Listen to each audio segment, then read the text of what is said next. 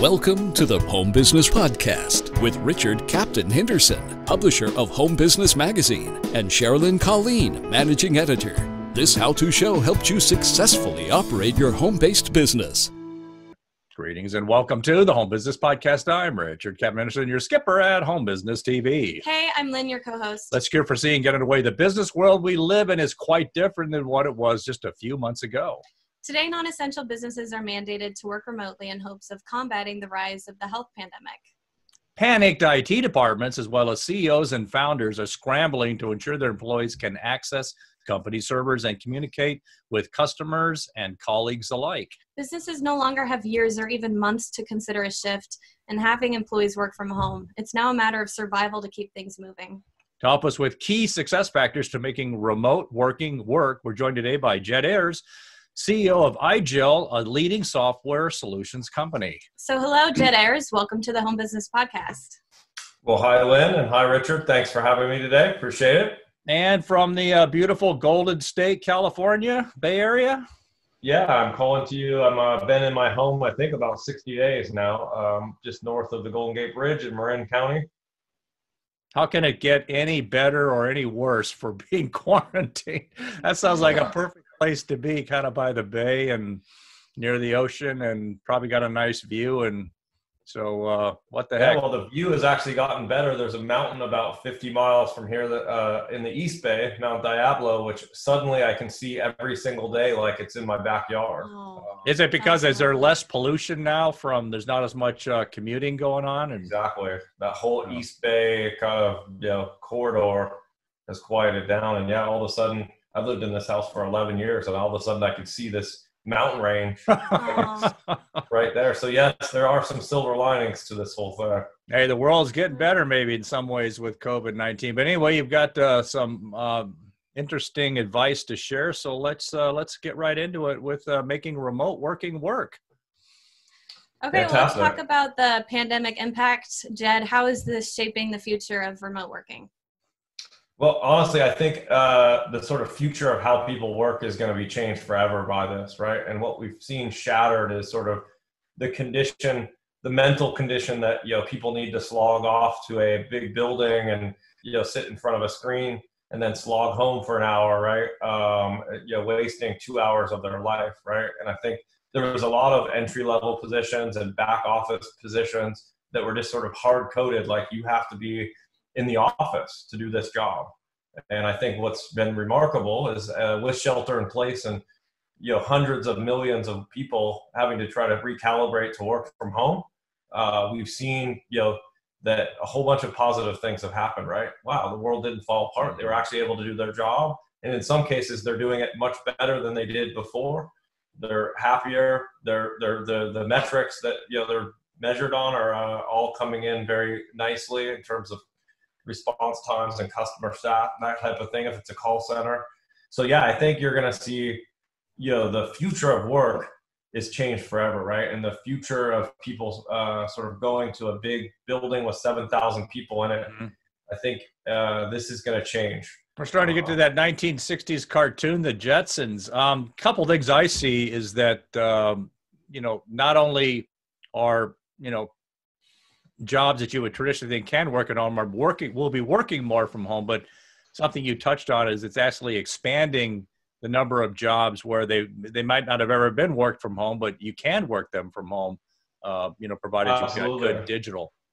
I mean, I think it was a fraction of the uh, population that was allowed to work from home. And it's certainly, uh, we're a German based company headquartered in Germany, and six out of 10 people in Germany had never worked from home, right? Um, and so, like in the US, we're a little bit more used to the sort of, you know, maybe uh, you got to work on Monday or Friday at home and you had certain things you could do from home. Uh, but, you know, the idea that hundreds of millions of people suddenly working from home, it's been a, I think, a radical, uh, you know sort of science project almost right that hey wow this is Right. possible I think you know we'll get into the technology a little bit, but I think there's a, there's a cultural aspect of it. Even if you can get the technology wired up to support it, can you can you know are there going to be a lot of people out there that can't culturally or from a personality standpoint make that transition? right I agree with you. I mean, I think that we're all wired for human interaction, right? And we all get energy from being around other people, and there's great collaboration that communication that happens in hallways and when we come together. But I think there's a rethinking in terms of, all right, do I really need that every day?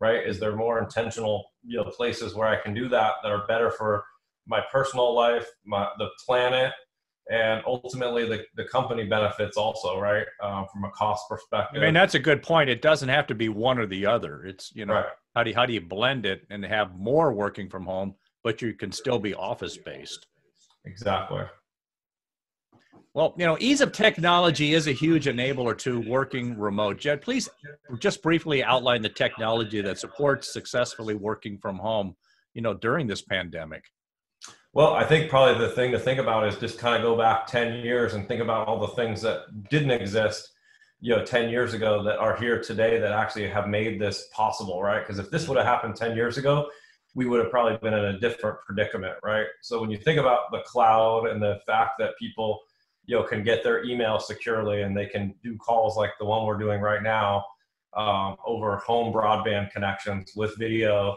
with great audio, and they can do it securely.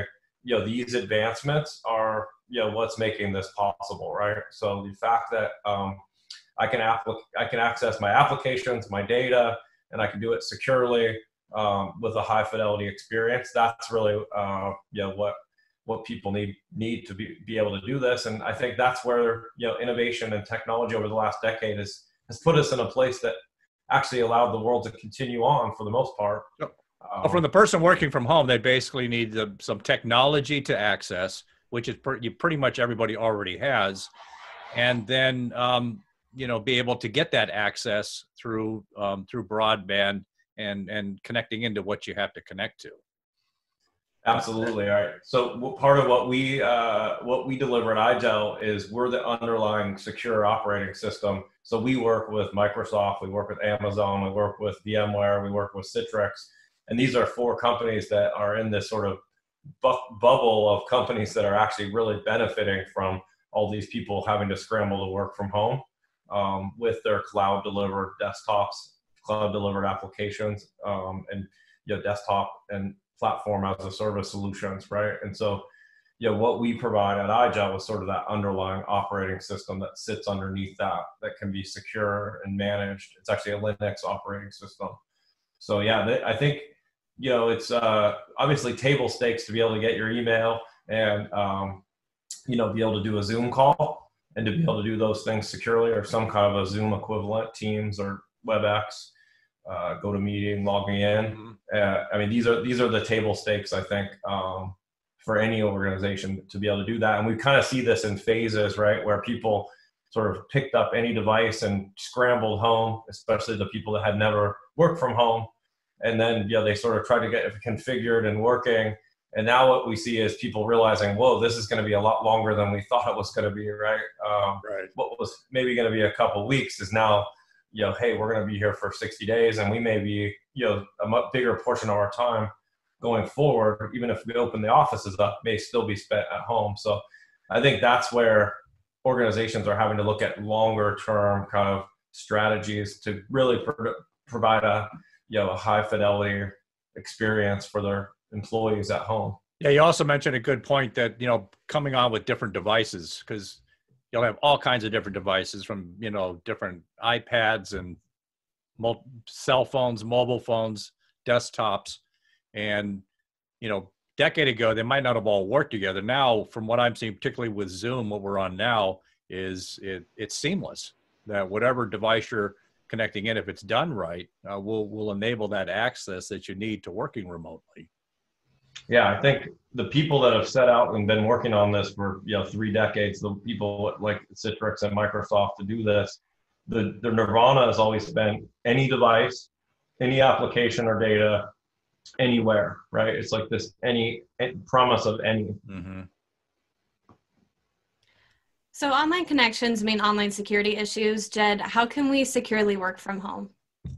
Yeah, I mean, I think that's actually one of the big sort of you know um, challenges right now, as you saw even in the corporate world on the corporate network with the best firewalls and the best uh, people working you know there's been massive breaches over the over the last years right? And ransomware and uh, some of the things that just are pervasive even in the most secure large enterprise organizations they're subject to being you know uh, compromised. And so you take hundreds of millions of people and you put them at home um, on a broadband connection right? This creates a whole new layer of challenges. And my prediction is you are going to see through this covid some situations where data hackers are able to you know access you know very uh, confidential information and or meet you know listen in on meetings those types of things right? And so mm-hmm. this is where uh, you know i think people are circling back around today and they're trying to figure out all right if, if i'm going to have thousands of workers at home how do i make sure that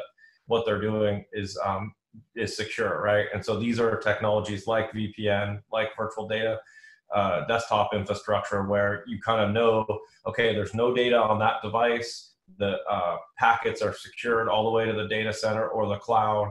So I think that's really the next step that we're in right now is that you know organizations of all sizes have to make sure that um, the the devices they understand you know what they're running, how they're accessing it, and that entire architecture is secure. What are some of the things? Just you know, we could really go down a rabbit hole like this for a long time. But just basically, what are some of the things that the employee working from home needs to be aware of for to maintain security? Whatever. Yeah. Well, I think a lot of it's the same things that you got to be aware of when you're uh, in the office, right? Because a lot of what I've seen early on is the same kind of things you see um, in the office where people are trying to do phishing and you're getting all kinds of uh, email attacks, right, where they want you to click on things and mm-hmm. um, they look very legitimate sometimes, and of course they're quite creative. So I think clearly, you know, the hygiene around uh, email is a, a, big piece of this, right? Hygiene about um, when and where you're accessing data, right, and hopefully, you know, the ideal scenario here is that you know none of your data is living on a device, right? That could somehow right. be compromised. I think that's the that's the hygiene and the architecture that we support, right? Which is data lives in a cloud or a data center somewhere and it's secure, right? So if a device is somehow uh, compromised, there's no way for it to get into the uh, you know anyone to get into the into that uh, confidential data. I think the other thing is uh, passwords, authentication, right? Like really making sure that all the same uh, authentication methodologies are used at home uh, when people. Yeah, one thing I've seen on the passwords, it it like I was in the military before, just retired, but we'd gone to a system of chips, and everybody was, you know, we'd gotten away from passwords and chips, and I thought that would get adapted more quickly in the corporate world, but it's still there's still a heavy reliance on user names and passwords, and I think that's that's going to be the future for a while, particularly for small business. Right. Yeah, there's definitely a lot of innovation that's going to happen in the security space, especially remote security across, uh, you know, the types of connections that we're coming across today, right? Uh, broadband. Mm-hmm. So I think you have companies like Okta and Microsoft, you know, where they're really looking at sort of a, an identity, a, a, personal identity that follows you across all your devices, right? Uh, across all the cloud uh, clouds that you might be connecting to, right? and things that do include um, you know uh, something you know something you have right certainly we all carry these phones around right um, right yeah. some of the uh, the, the actual uh, biotechnology as well right retina scanning fingerprint scanning you're starting to see some of those things creep into how people log into devices so yeah i think one thing I'm very confident about, and you can see I have this belief shirt on, right? It's part of a message that we're delivering at IGEL, right? Which is, you know, there is some positive positive that can come out of this, right? In terms of innovation. Hey, stand up a stand up a little bit for a second so we get a good shot on that that T-shirt. Yeah. So uh, we're actually giving these away because it's like just sort of our gift to the world. Of, if you go to igel.com/believe, we'll send you one. But the idea is that hey, you know when you think about some of the biggest innovations that have come out of the world, uh, you know, they say we rode into World War II on horses and came out splitting the atom, right? So, mm-hmm. well, this is an invisible enemy this time around. I would suggest to you that human intellect and innovation and sort of uh, the positive that can come through this and out, out of this, albeit, you know, there's human toll and there's economic carnage, could be very good for the world, right? And, and we're seeing it out our own windows, right? Like I said at the beginning of this, that you know the planet is uh, is recovering in a certain way, right? And we're rethinking. I'm a guy who you know put 250,000 miles a year on a plane, and I've been in one place for 60 days, right? And hey, how many how many meetings you missed, you missed, you missed that flying you used to hate. You know, Yeah. hey, I just had like a question. This is like a pet peeve for me. I, I don't know this this email phishing and clicking email links. Well, I just don't understand why they can't get a handle on that. Where someone, you know, somehow can check these websites. You you click a link that's going back to some, you know, server in Russia where they're suddenly going to encrypt all your data and and we, what do they call that ransomware? It, I would just I, I I keep thinking there's going to be a solution come along that will, you know, if some you know you're in an office and you click a link, and it's going to one of the ransomware sites that somehow they're able to to get in between there and intervene, but it's just not there. I that's one of the things I keep hearing about in the small business tech world is just nightmares with ransomware. Yeah, I agree. I mean, I think some of these things that infect a uh, the Windows operating system, you know, that, that that is part of the reason why IGEL is flourishing, right? It's just um, you know a very large, very complex, very powerful operating system, right? But it has to be patched and managed and secured um, on every device. And so, part of the future that we see is actually a world where you have a very light, very small, but very secure read-only operating system, right? So when you think about the types of things that happen with uh, malware uh, getting into an operating system, those things are, are nearly impossible with a read-only firmware, right? Well, they true. have checksums, so when it's booting, it's, if it doesn't match how it was built, it just doesn't boot at all, right? And so these types of sort of very hardened, uh, secure, stable, easy to manage operating systems on devices, then connecting to the cloud services we think this is the architecture of the, of the future. And honestly, you can see it borne out with Google, right? Think Mhm. about Chromebooks. That's sort of a, a light, secure, you know, small operating system connected to the Google infrastructure. And that's kind of what IGEL does. We do it, um, you know, across all these Yeah, that, that's, so it's getting kind of a level of the typical small business owner, the kind of technology. But the important point is there's a lot going on here, and that for people working from home, this is going to impact you. These technologies, so try to maintain a you know a basic aware of this. But kind of moving on to one subject here, you know, remote employee management does require entirely new skill sets. Jed, what are some you know expert work from home tips for managers, particularly during COVID nineteen?